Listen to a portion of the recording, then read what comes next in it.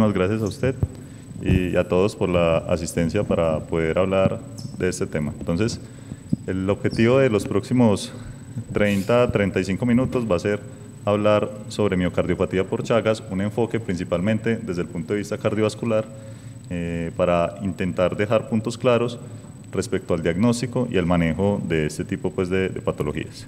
Entonces, voy a empezar eh, planteándoles un caso clínico. Este es un hombre de 61 años que era natural de Yalí, residente en Cisneros, casado, cuatro hijos, cesante, agricultor y vendedor ambulante. El paciente manifiesta y decide consultar al servicio de urgencias por sensación de, dolor opresivo en región torácica. Él manifiesta un cuadro de ocho días de evolución, eh, el, dolor era predominantemente en región costal izquierda, incluso el dolor persistía en, en, ocasiones en reposo, se irradiaba al hombro y la escápula, tenía disnea, ortopnea, además edemas en miembros inferiores y no manifestaba otros síntomas 100% claros.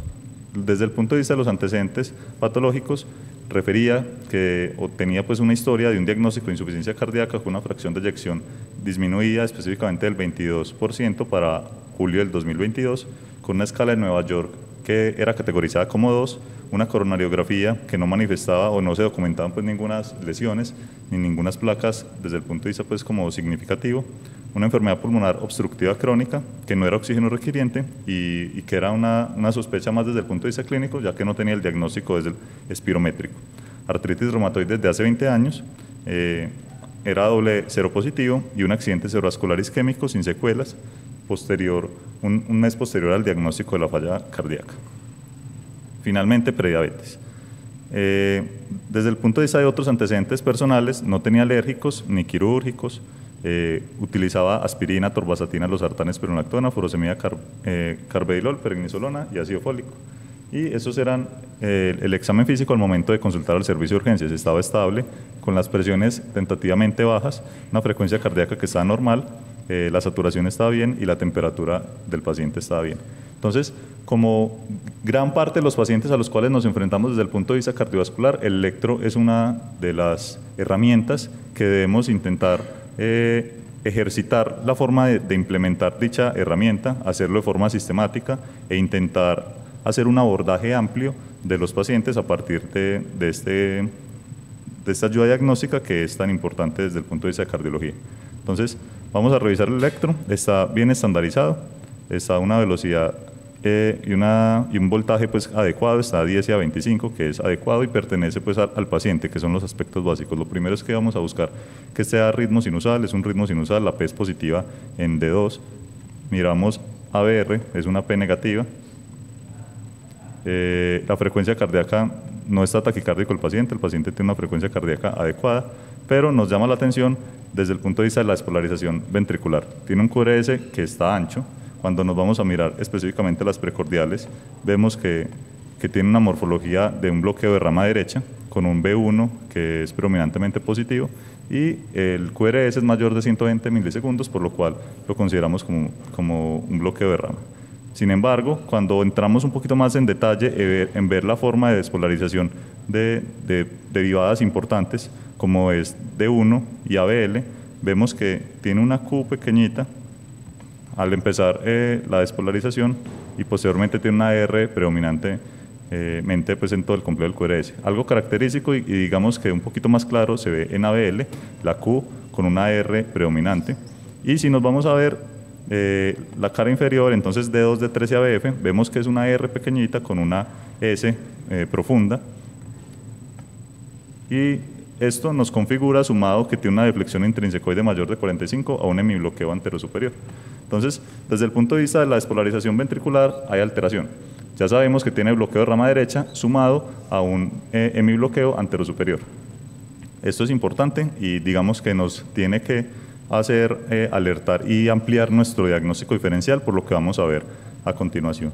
Y de forma adicional vemos algunas extrasístoles aisladas en todo pues como el, el electro, que son de origen ventricular, que son positivas en D2, por lo menos pues, en esta está positiva en D2, es negativa eh, en otras derivadas pues diferentes. En precordiales tiene la misma morfología de bloqueo de rama derecha que nos debe hacer sospechar de que probablemente en primera instancia, sin entrar en mucho en detalle, puede estar originándose en el ventrículo izquierdo. Esa es la radiografía de tórax del paciente, pues que nos llama la atención algo desde el punto de vista pulmonar claramente, pero sí cardiovascular con una cardiomegalia, eh, digamos, importante. Laboratorios, el paciente en general tenía unos laboratorios que estaban relativamente pues como estables, no tenía anemia, eh, la creatina estaba en 1, no tenía un trastorno hidroelectrolítico importante, eh, la troponina le dio positiva, pero sin un delta que sugiriese una enfermedad isquémica activa, probablemente por la misma descompensación de la falla, estaba el contexto de, la elevación de la troponina. Y esa es la tomografía que sí habla de unos cambios en atenuación en mosaico a nivel pulmonar y posible atrapamiento aéreo con la cardiomegalia que ya habíamos descrito. Cuando vamos a abordar el paciente desde el punto de vista ecocardiográfico, entonces vemos una ventana en, eh, en paresternal eje largo, esa es la aurícula izquierda, eh, todo este es el ventrículo izquierdo, ese es el tracto de salida del ventrículo izquierdo con la válvula órtica y acá lo vemos en, en color. Donde no vemos claramente pues alguna valvulopatía con ninguna insuficiencia que nos sugiere por Doppler color. Cuando vamos a la apical, todo este grandote es el ventrículo izquierdo, acá está el ventrículo derecho, la aurícula derecha y la aurícula izquierda. Esta es una apical de cuatro cámaras. Y acá lo vemos en Doppler, que tampoco vemos eh, desde el punto de vista pues, del, Doppler color alguna valvulopatía a nivel mitral y tampoco lo, lo sugiere a nivel tricuspide en otra proyección. La conclusión de la ecocardiografía es una cardiopatía dilatada con disfunción sistólica grave del ventrículo izquierdo, es un ventrículo izquierdo gravemente dilatado como podemos ver con hipertrofia excéntrica y hipocinesia difusa. La fracción de eyección para este entonces ya estaba en 15%, con una disfunción diastólica grave, eh, grado 3, el ventrículo derecho estaba hipocinético, no estaba dilatado, las aurículas eran de un tamaño normal y sin valvulopatías o algún trastorno desde el punto de vista pericárdico. Tenía algo elevada la PTH con una eh, leve disminución de la vitamina D, probablemente pues un contexto de un hiperpara secundario de déficit de vitamina D, y salió y se solicitó pues eh, una inmunofluorescencia con IgG para Trypanosoma crucis y salió reactivo, que es lo que vamos a abordar pues a continuación. El holter del paciente tenía cambios importantes, un grave aumento del automatismo ventricular con eh, aisladas, pares y también episodios de taquicardia ventricular no sostenida, el más largo de 11 latidos, una carga del 16% y también un aumento del automatismo auricular. Esta es la resonancia con la cual se complementó el abordaje de este paciente. Como habíamos visto, es una cardiopatía severamente eh, dilatada. Esto tiene que hacernos de alguna forma sospechar el contexto de, Chagas. Si no lo pensamos, no lo vamos a diagnosticar. Y si no solicitamos los, los marcadores desde el punto de vista de los anticuerpos, pues tampoco vamos a tener un diagnóstico 100% claro. Que el tratamiento de la falla cardíaca probablemente no vaya a cambiar de forma significativa, todos sabemos que el pilar de tratamiento en la FEDI reducida son los cuatro medicamentos eh, y los cuatro fantásticos, pero pues de todas formas es siempre importante llegar al diagnóstico con el objetivo de considerar conductas terapéuticas que pueden variar dependiendo del mismo. Entonces, miremos el agente etiológico de la enfermedad de Chagas. Sabemos que también es conocida como tripanosomiasis americana, es una enfermedad parasitaria causada por el protozoo flagelado Trypanosoma crucis. Eh, es tiene una diversidad genética y fenotípica muy importante e incluso eh, unas seis unidades taxonómicas que son descritas como TC del 1 al 6. La transmisión es múltiple, va desde el punto de vista vectorial, que es muy frecuente y que digamos que es el más conocido por todos, pero también tiene una transmisión vertical, oral, asociada a transfusiones sanguíneas, en trasplantes y en accidentes de laboratorio. Todas estas, digamos que en los países endémicos usualmente se ven eh, comprometidas, pero en los países no endémicos la vectorial pues pierde un poco de relevancia eh, y gana un poco más de relevancia otras transmisiones como la vertical y la oral, teniendo en cuenta toda la epidemiología que les voy a describir a, continuación. Entonces, la transmisión vectorial, que es la clásica que todos conocemos, eh, es la, más frecuente, por lo menos en, un 80%, principalmente en países pues, endémicos. Este eh, bichito que les estoy proyectando en la presentación es conocido como el triatomino. Digamos que de forma más coloquial, en América Latina lo conocen como chinches besuconas eh, y también pito, que digamos que es, son nombres que hay que intentar interiorizarlos con el objetivo de preguntarle al paciente. Literal, lo que me enseñaron mis profesores y lo que yo hago después de, de abordar pacientes con sospecha de Chagas es sacar el celular buscar en internet el nombre de pito o de triatomino y mostrarle al paciente. Este animalito es frecuente que usted lo vea por, por, su hogar, por su vivienda o en algún momento ha tenido contacto con ese animal. Porque si no, digamos que es complicado sospechar este tipo de patologías. Está bien que lo vamos a, a pensar en un abordaje de pacientes con falla cardíaca, con unas características que son las que vamos a ver a continuación, también con electros como les, les, el que les describí previamente, pero hay que intentar eh, profundizar y llegar a, a tener como más claridad respecto a este diagnóstico. Son hematófagos eh, obligados con un hábito nocturno, aproximadamente son 150 especies. Eh, el periodo de incubación va de, de, más o menos una semana a dos semanas, es un poco variable. La transmisión vertical también es muy importante, el 22% de infecciones nuevas por chagas en países principalmente endémicos se debe a una transmisión vertical. Eh, un 5% en países endémicos y un 2.7% en países no endémicos respecto a la prevalencia de este tipo pues, de, transmisión. Y hay diferentes factores para que se vea favorecido la transmisión vertical, principalmente que tenga la madre una parasitemia importante, que sea VIH positivo o que sea menor de edad. De la misma forma hay factores que disminuyen la posibilidad de que sea una transmisión y eso es que tenga una respuesta sostenida a dicho parásito, lo que se hace que se aumente la expresión de TH1 y esto pueda disminuir la posibilidad de que se transmita eh, la infección de la madre al hijo.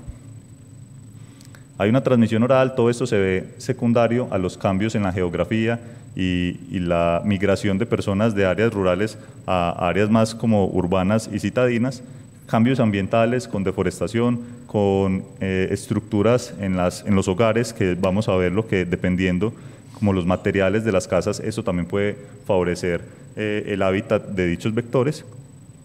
Y netamente se ve como una contaminación de, de las heces del triatomino o secreciones infectadas de mamíferos en carne o en alimentos de los pacientes. El periodo de incubación es un poco mayor, usualmente va de 3 a 22, 22, días y es muy importante que esta transmisión oral sí se asocia a formas agudas. Vamos a abordar a continuación la enfermedad, usualmente tiene un perfil que es asintomático, otro que es un agudo y otro que es crónico. Para cardiopatía es mucho más frecuente que sea el perfil crónico, eh, sin embargo la transmisión oral es muy importante considerarlo en contextos agudos.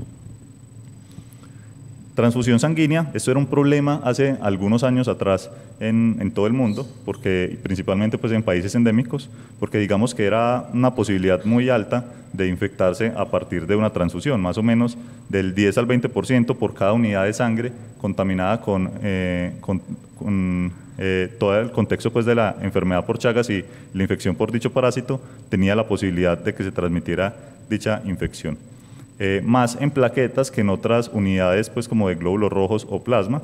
Eh, a partir de, del 1990, esta prevalencia, digamos que era significativa, era muy importante, podía ir en algunas series hasta 1%, en otras hasta el 60%, pero ¿qué pasó? En Colombia, por lo menos a partir del 95, la ya se empezó a hacer tamización eh, para Trypanosoma crucis y con el objetivo de documentar qué pacientes tenían dicha infección y aislar esos, esas eh, unidades de donación pues, de, de, plasma y de, y de plaquetas y de glóbulos rojos y de esta forma se evitó la transmisión, por lo menos desde el punto de vista sanguínea, cosa que es sumamente pues, como importante. Lo otro, teniendo en cuenta pues, que nuestra institución es una eh, institución trasplantadora, hay que considerar que es posible también tener una transmisión a partir de, de, de, órganos sólidos, como es el riñón, de un 0 a un 19% en algunas series, hígado de 0 a 29, eh, corazón es muy importante y prácticamente es, es muy factible la transmisión de la, de la infección después de, un trasplante de un paciente que estuviese infectado, por lo menos crónicamente, que es lo más frecuente, eh, por el tripanosoma crucis.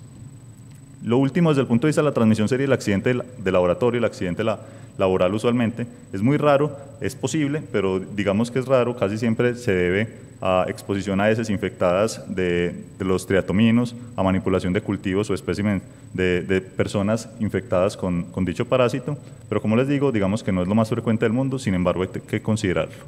La mayoría de las veces esta enfermedad y la población que se ve afectada tiene un contexto de, de pobreza importante, todo por el hecho de que los, algunas estructuras de algunas casas favorecen el hecho de que tengan contacto con dicho, eh, con dicho animal eh, y esto pueda favorecer pues, eh, la transmisión vectorial de, de este tipo de enfermedad. Hay transmisión vectorial domiciliaria, usualmente es en niños pequeños, menores de 5 años, y otra no domiciliaria, que es la que se destaca principalmente en adultos, con algunas actividades laborales como es la pesca, la agricultura y la caza.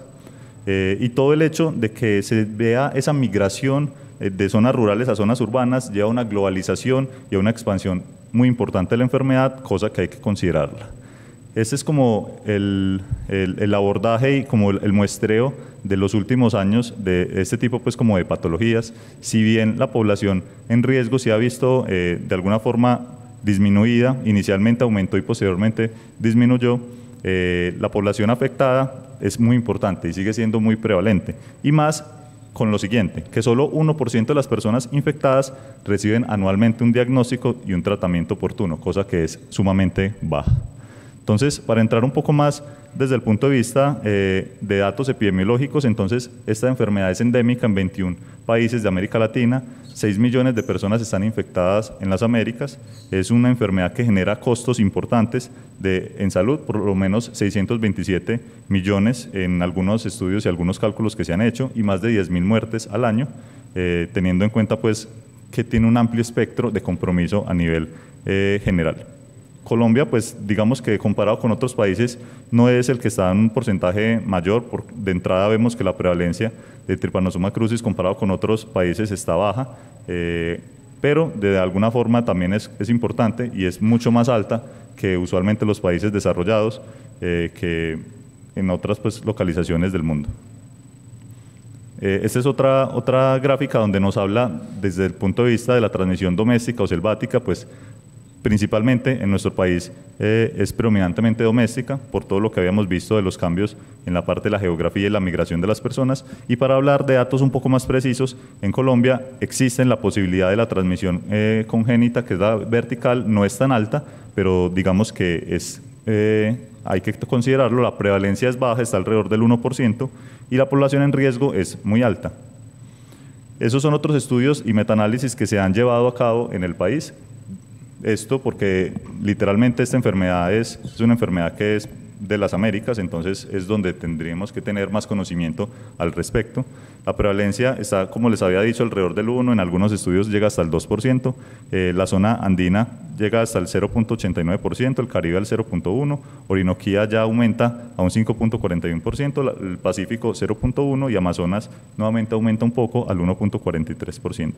Orinoquía es la población eh, en nuestro país que predominantemente se ve afectada, usualmente vemos un compromiso muy importante de, toda esta región, tanto transmisión eh, vectorial como, como vertical.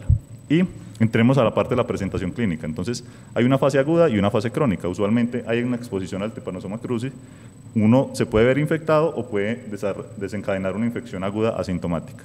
En, algunas ocasiones hay enfermedades agudas sintomáticas que en la mayoría de las ocasiones llevan una resolución y no generan pues un compromiso grande desde el punto de vista de mortalidad, sin embargo hasta un 1% puede desencadenar en, muerte del paciente. La duración aproximada es de 8 semanas, todo depende de qué tan alta carga parasitémica tenga el paciente y esto va en algunas ocasiones a desencadenar contextos más crónicos.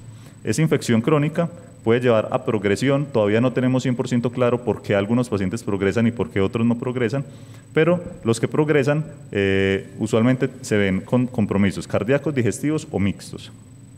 Pues como les había mencionado, vamos a intentar abordar predominantemente ese contexto del compromiso cardíaco. Esta fase crónica, usualmente la serología es positiva, pero la parasitemia es baja, eh, por lo cual lo vamos a diagnosticar es con una medición de anticuerpos.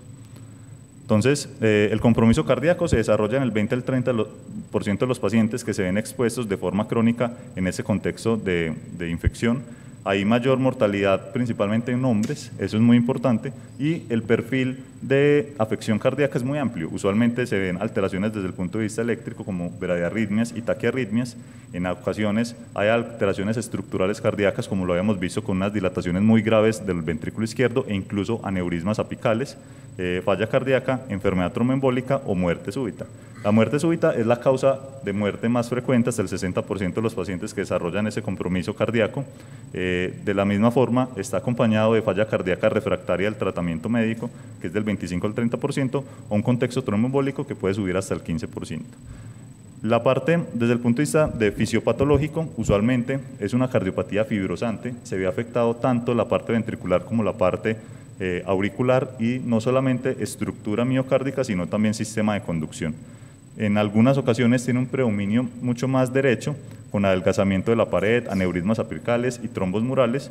Eh, y cuando ya vamos a ver un poco más la histología, encontramos infiltración linfocitaria, fibrosis, atrofia de los miocitos y también contextos de cicatrización que van a favorecer la enfermedad eh, eléctrica y las extrasístoles. Entonces, este es el amplio espectro de la enfermedad y el compromiso cardíaco por Chagas. Usualmente tenemos un compromiso desde el punto de vista del ritmo, también desde el punto de vista del músculo. Los aneurismas son muy importantes y estos aneurismas pueden favorecer la formación de trombos eh, y que pueden generar un contexto de enfermedad cerebrovascular.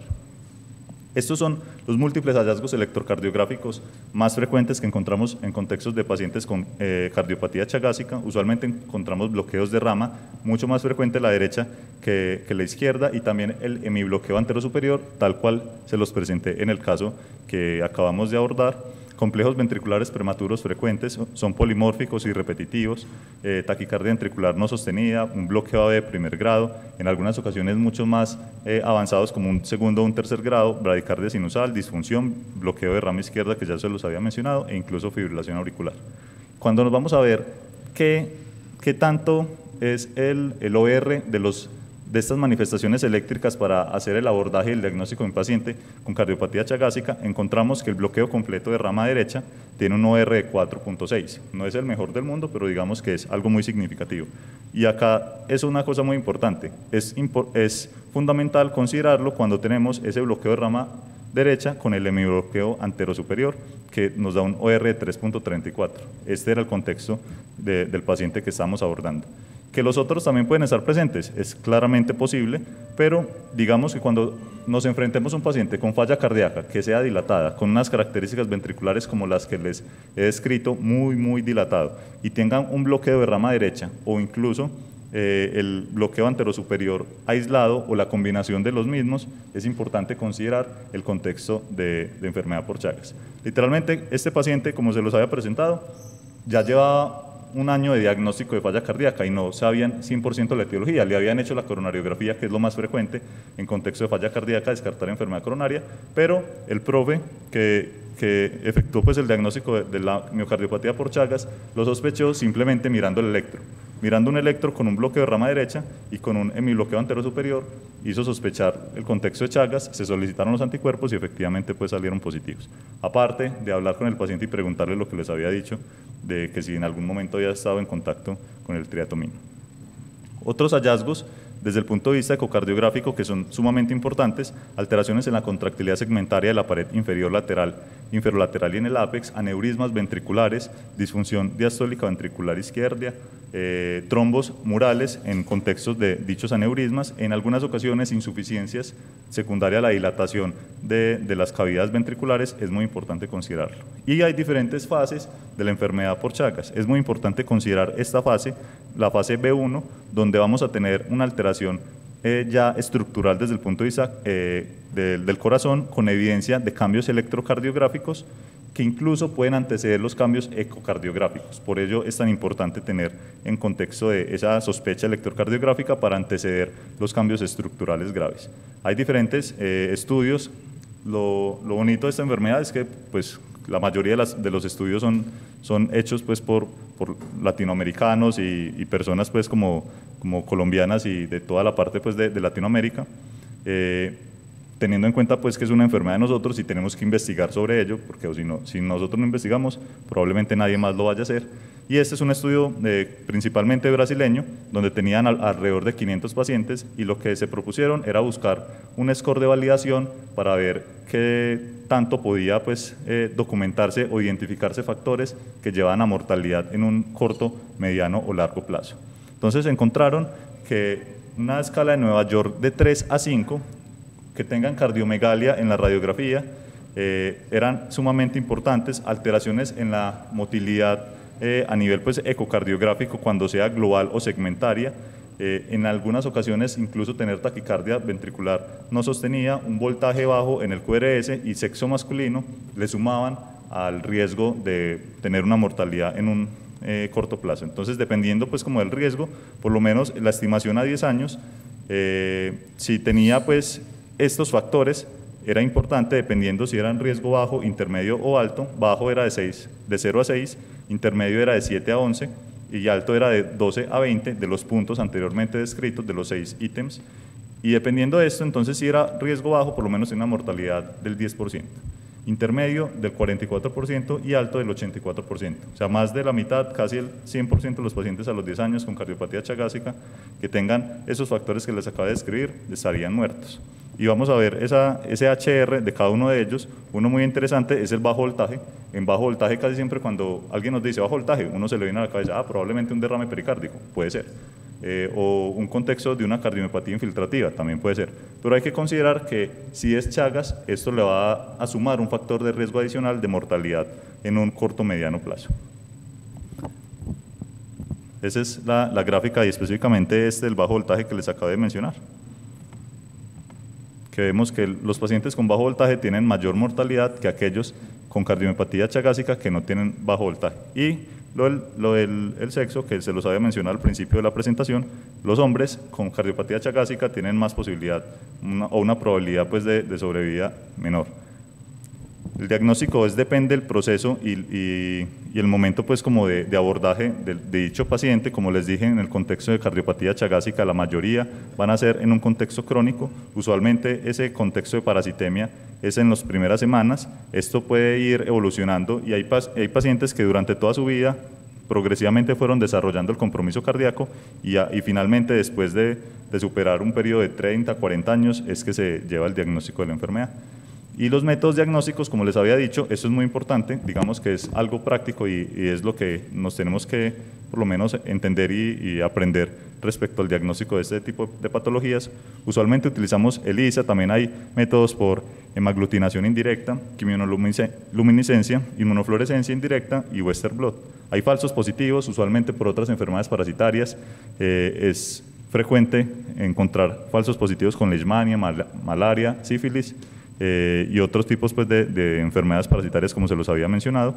Y esta es como la recomendación del Ministerio de Salud respecto al abordaje y al diagnóstico de esta enfermedad. Usualmente solicitar una prueba eh, de tamización inicial que puede ser dependiendo pues las instituciones, hay instituciones en las cuales solo tienen inmunofluorescencia, entonces se, se empieza por esa, eh, o pues la recomendación de ellos es empezar con, con, el ISA. Lo importante es que al momento de solicitar una confirmatoria hay que cambiar la prueba y solicitar pues como la contraria, así se tenga que llevar fuera de la institución para tener como corroborar dicho diagnóstico. En caso de que las dos pruebas, inicialmente la ELISA y posteriormente la inmunofluorescencia, sean positivas, ya el caso queda confirmado.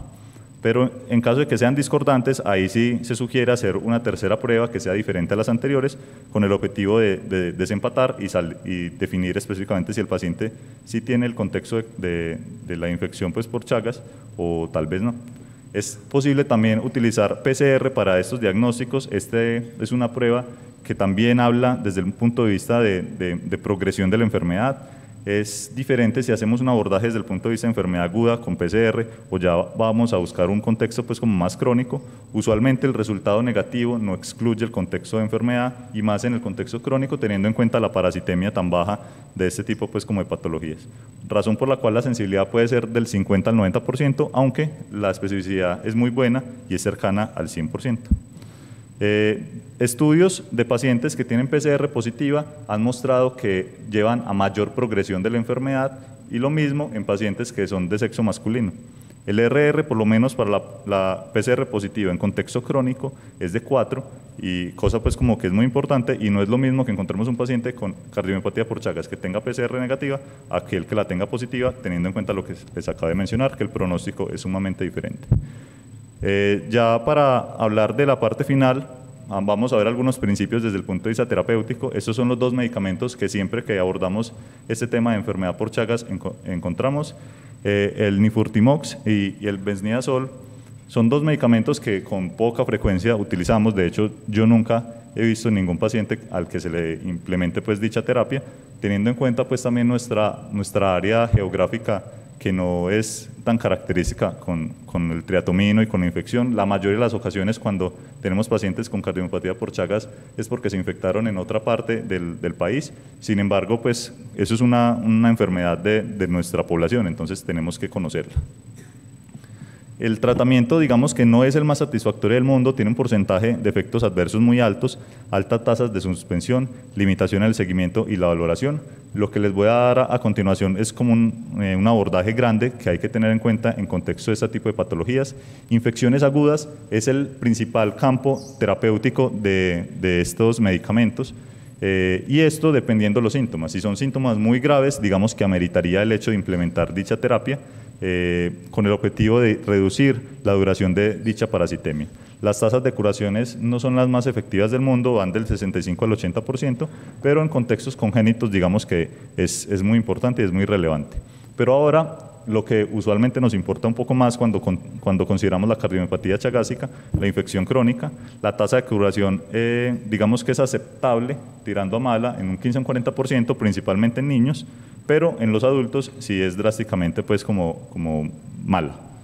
Eh, es complicado cuando tenemos esos pacientes con infección crónica, con formas indeterminadas, porque en algunas ocasiones hay autores que, que dicen que tal vez puede ser un, un, desenlace favorable el hecho de utilizar este tipo de medicamentos.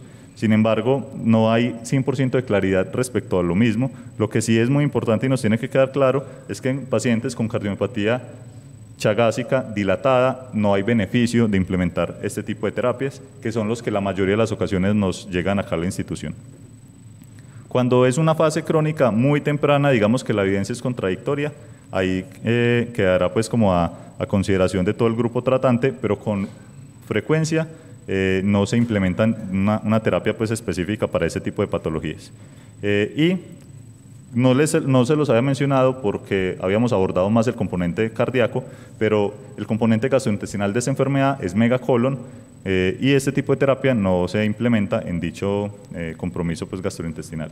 Entonces, usualmente a quién se le ofrece? A infecciones agudas, como lo habíamos dicho, eh, independiente del mecanismo de transmisión, cuando es congénita, digamos, mucho más, cuando es una mujer en edad fértil, teniendo en cuenta pues, el riesgo de transmisión a pues, o que está en, embarazo, teniendo en cuenta el riesgo de transmisión a, su hijo, contaminación accidental de alto riesgo, es importante principalmente lo que hablábamos de, laboratorios, que el, bajo, el riesgo es bajo, pero hay que intentar implementarlo. Eh, casos de reactivación también sería otra alternativa y principalmente en los pacientes pediátricos con la efectividad, como les dije, que podría ser hasta el 40%, se podría implementar teniendo en cuenta que hay mejor respuesta cuando se compara con el manejo de los adultos. Cuando es el, paciente crónico y el, el contexto crónico, esas formas indeterminadas que quedará a consideración del grupo tratante, pero claramente, y se los enfatizo, de que la cardiomiopatía crónica eh, no tiene algún beneficio el hecho de implementar dicha terapia, por lo cual cuando está avanzado no se indica este tratamiento. Acá sería como un cuadro de, las dos terapias farmacológicas, las presentaciones a las cuales tenemos disponibilidad de los mismos, pero les quiero resaltar el hecho de, que tienen múltiples efectos secundarios y es muy frecuente que los pacientes no toleren dichas terapias, por lo cual con frecuencia no es eh, tan implementada. Ya la valoración de la respuesta al tratamiento, en algunos textos hablan de que hay que valorar la disminución de los títulos del anticuerpo, eh, negativización de la serología, el tiempo de conversión, digamos que es variable de un IgM positivo a que ya tengamos un IgG positivo y se empiece a controlar el contexto de, parasitemia. Eh, en algunas ocasiones puede persistir esa PCR positiva y como lo habíamos visto, esto nos da un factor pronóstico y cuando hay compromiso cardíaco, pues eh, la mortalidad es mayor a un corto plazo. Desde el punto de vista del tratamiento no etiológico, hablamos del manejo usual que implementamos en pacientes con enfermedad cardiovascular y ECA sobre las dos en caso de, necesitarlo, todo dependiendo de la fracción de eyección del paciente. Beta bloqueadores es una de las terapias más importantes para controlar el contexto de extrasistolia y arritmias que predominantemente son ventriculares, pero también pueden ser supraventriculares. Eh, espironolactona como parte de la terapia adicional en contexto de falla cardíaca, digoxina. Esto respecto a la miadrona o al implante de dispositivos y la resincronización es un tema mucho más discutido.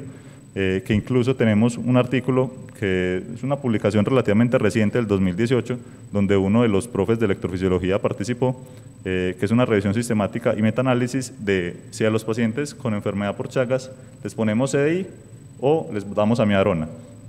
Eh, eso es una decisión difícil, pero usualmente con todos esos estudios no, hay, no se ha demostrado reducciones en la mortalidad respecto a una o la otra, Incluso uno creería, pues es que le estamos poniendo un CDI con el objetivo de prevenir una muerte súbita, pero eh, este tipo de estudios en estas enfermedades tan complejas donde las extrasistolias pueden venir de absolutamente cualquier parte del corazón, incluso de zonas epicárdicas, eh, no responden también a los antiarrítmicos ni tampoco a la terapia eléctrica cuando se implantan dispositivos.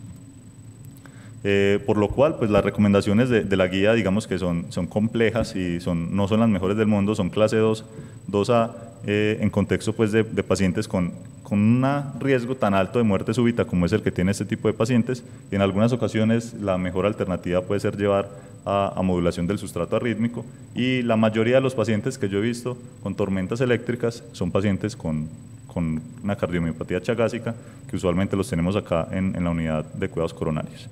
Finalmente, este compromiso cardíaco puede ser muy amplio. Eh, podemos tener pacientes que debutan con síncope, presíncope, con arritmias desde el punto de vista ventricular, con disfunción cardíaca y síntomas de falla cardíaca como lo tenía este paciente, con arritmias supraventriculares o la presencia de trombos intraventriculares o incluso debuts en contexto de accidentes cerebrovasculares, como el paciente que les mencioné, pues no es extraño que un paciente con falla cardíaca y posteriormente tenga una ACV, que tenga una cardiomiopatía tan dilatada, probablemente con aneurisma ventricular tenga la formación de trombos ventriculares izquierdos y esto lo, lo lleve al compromiso cerebrovascular. Eh, y la implantación de dispositivos que, como les había dicho, digamos que es muy discutido, tanto para el manejo de la, de la muerte súbita como para el seguimiento con antiarrítmicos. Como conclusiones, entonces, es una enfermedad común con alta mortalidad asociada a pobreza. La transmisión es muy amplia, vectorial, oral, vertical, eh, transfusión sanguínea, trasplantes de órganos sólidos y de laboratorio. El compromiso cardíaco es el 20 al 30% de los casos. Eh, los trastornos en la conducción son una forma, digamos, importante de hacer el abordaje de esos pacientes y puede ser muy amplia. Lo importante es aprenderse lo que les dije. La mayoría tienen bloqueo de rama derecha, y si no es bloqueo de rama derecha, tienen bloqueo de rama derecha más un hemibloqueo antero superior. Los aneurismas ventriculares también nos deben hacer sospechar el contexto de este tipo de, pacientes con este tipo pues, de cardiopatías. El diagnóstico en la fase crónica se hace a partir de serología. Vamos a solicitar IgG tanto por ELISA o por inmunofluorescencia para el tripanosoma cruzi. Si nos sale positivos, solicitamos la otra prueba, o sea, si empezamos con ELISA, después nos pasamos inmunofluorescencia y si no, al contrario, eh, y el tratamiento, pues usualmente no, está desaconsejado en contexto de enfermedades crónicas avanzadas, pues de, de, cardiopatía avanzada, pero se podría considerar en niños o en fases crónicas tempranas y en contextos agudos siempre se considera. Eso sería lo que traía para que revisáramos hoy. Muchas gracias.